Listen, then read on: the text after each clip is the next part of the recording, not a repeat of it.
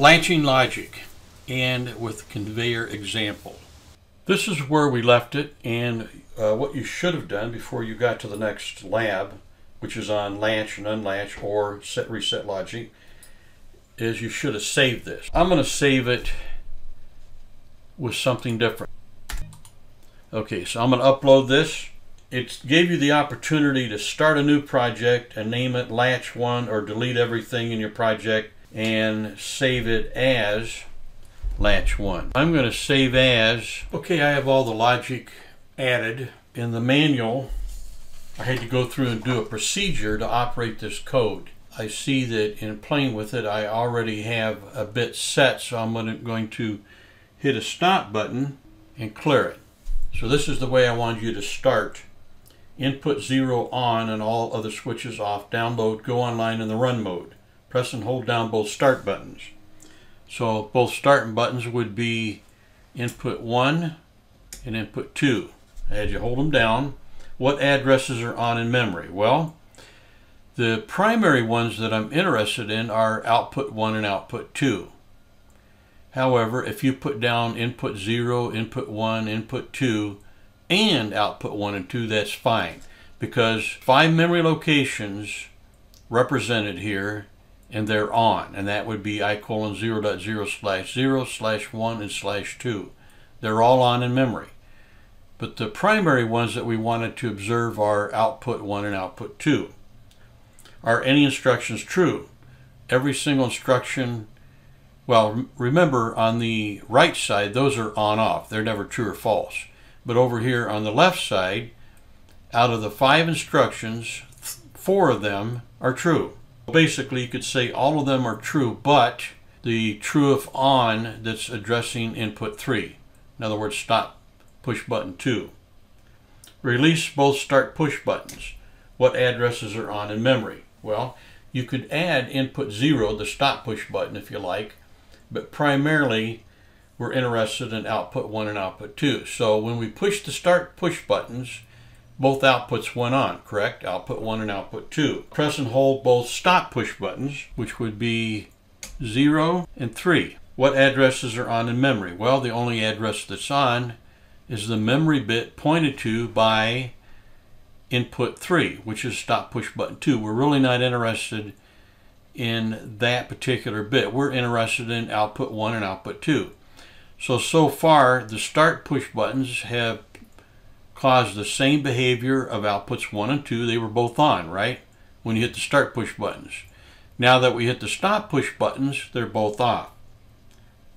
So if we release both stop push buttons, what addresses are on in memory? Well, only input 0, but the ones that we're interested in, output 1 and 2, they're both off. So to back up, well, and it says are any instructions true? Yes, the true if on, input 0. Now just looking at output 1 and 2, let's do the two start push buttons, which are 1 and 2. Release, and outputs 1 and 2 are on. Now we hit both stop push buttons, which is 0 and 3, release, and output 1 and 2 are off. What we're demonstrating here is that rungs 1 and 2 are equivalent to rung 0 in operation. With one, you might say two differences, but when the program's in the run mode and everything's running, they operate identically. So then what I had you do is press both start push buttons again, so we have outputs 1 and 2 on. Then I had you go to the remote program mode up here. Then I ask you, are those bits still on? Yes, they are. Output 1 and 2 are on. Then I had you go back to the run mode and pay attention to these two right here, output 1 and 2. Notice that output 1 drops out. Are the bits that were on before the mode change still on? No, they're not. Now they were on when you went to the program mode, but when you went back to the run mode, it dropped the bit that's controlled by an OTE, the seal-in logic. With the OTE, it dropped that bit. Your takeaway from this is that if you want a bit to stay on through a mode change, you need to use a latch unlatch, set reset. And remember that a an OTE, the top instruction, that basically behaves like a regular relay. I push the start push button and that makes continuity to turn on output 1. When I let go, a contact from output 1 keeps output 1 on. It seals in. And that's exactly what you do with a relay. The bottom ones, and, and keep in mind, if I hit the stop push button in rung 0, now the rung is false and the false execution of an OTE, the top output instruction, is to turn the bit off. These bottom two instructions, the latch and unlatch, have a true execution but no false execution. And that's why output 2 is on because when we hit the start push button, it said, hey, output 2, you're on. And then when you released it, there was silence. The last thing output 2 heard, bit, that bit addressed by O colon 0.0 slash 2, the last thing it heard was, hey, you're on.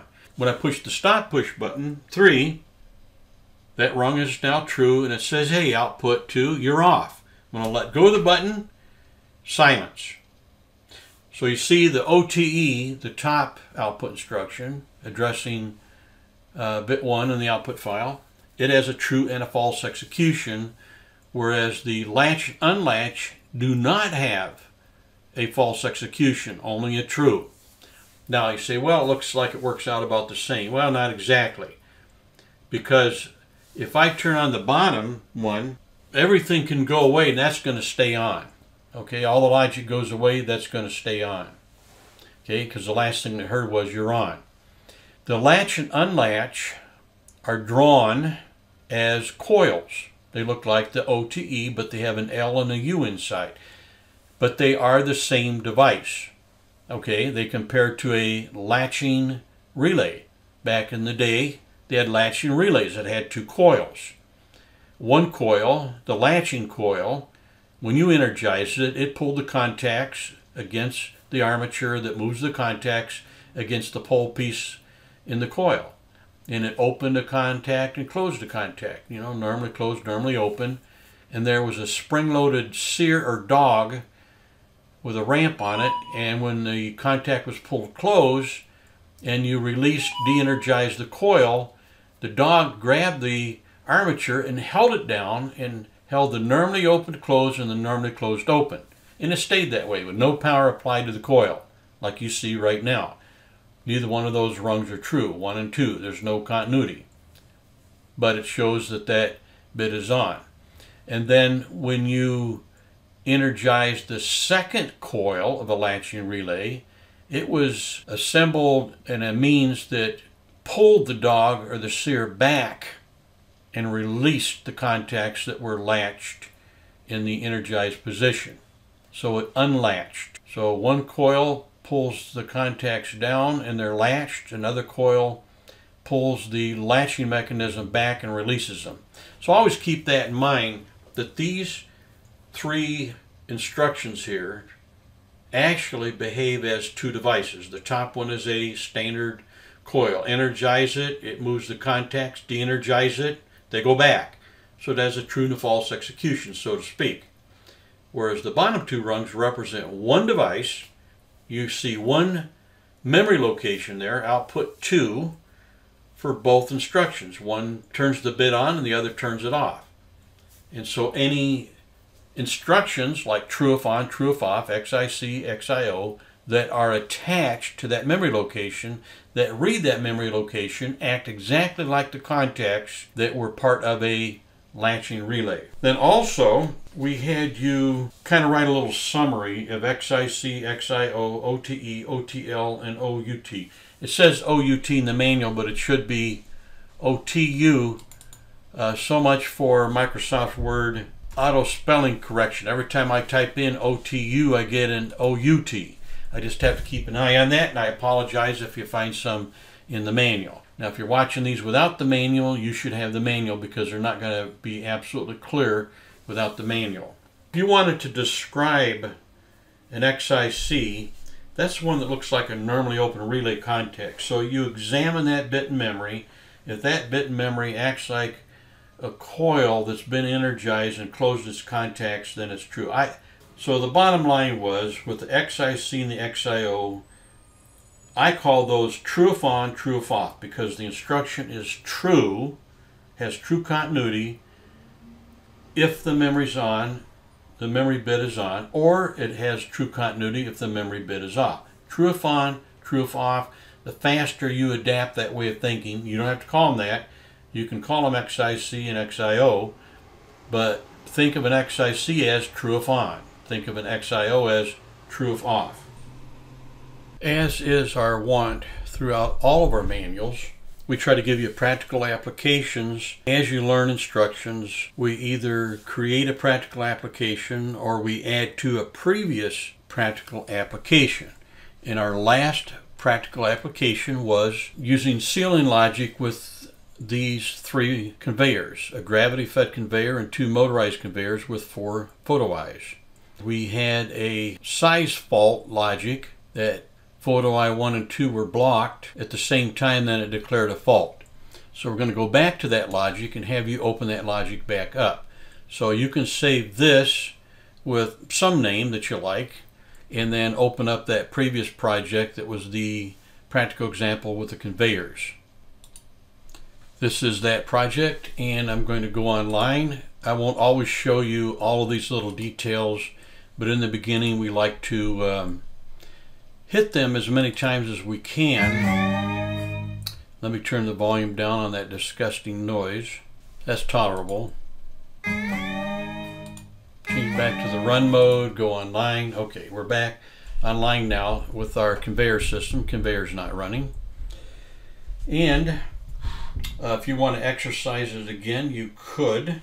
Let's look at this rung. This is the rung that we're going to change right here. 1 PE and 2 PE if both of the optical paths are interrupted simultaneously, then we declare a size fault. As we said, we create a size fault if 1 PE and 2 PE are blocked at the same time. So you could say if 1 PE and 2 PE, then size fault.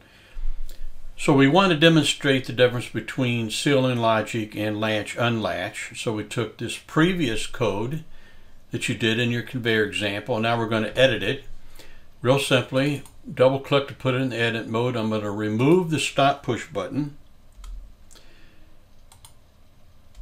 Remove the seal in.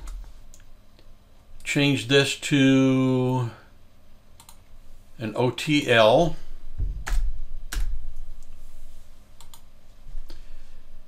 And then I need to add a new rung that looks at the stop push button. and then unlatches the fault. So click both rungs here. Now I'm, I clicked on one, I'm going to control click. So I'm only clicking the ones that are in the E-edit zone and I can hit accept, test, and assemble. I think that matches what you've got in your book except for one thing.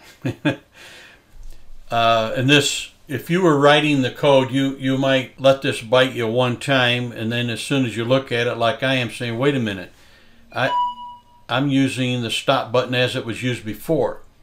So I have to take and flip the logic, make that an XIO, true if off, because we're set up for a no, normally closed push button. And I wanted to use the exact same push button that I used up here.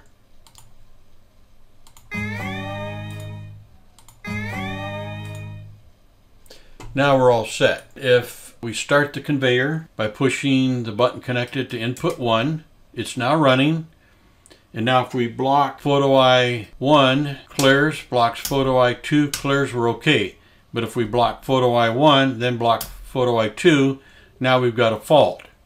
And of course you can't restart it because you got a fault. But if you clear the fault, and notice if I pull it out of one photo eye, let's say somebody just pushes it forward, whoops, yeah, pushes it forward and clears one PE, or pushes it backwards and clears two PE. That still doesn't reset it. You have to um, clear the thing, you know, clear the carton out there. Now they could cheat, okay? Let's say they just pushed it all the way forward so it was out of the way, and then hit the stop push button, which is input zero. So it's reset and then they push input one the way the conveyor goes again. Let's wait for the next carton. Here we have a practical example where we did it one way, and that is with all seal-in logic. And we still have the seal-in logic for the motor control, but now we're using latch unlatch for the fault.